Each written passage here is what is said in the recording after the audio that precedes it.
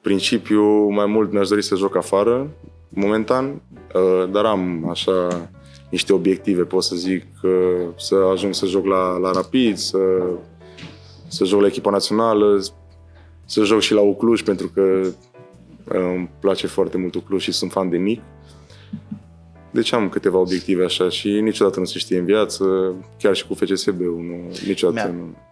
A, nu, nu spui, adică... Nu e- exclud, normal. Da, să te întorci. Normal.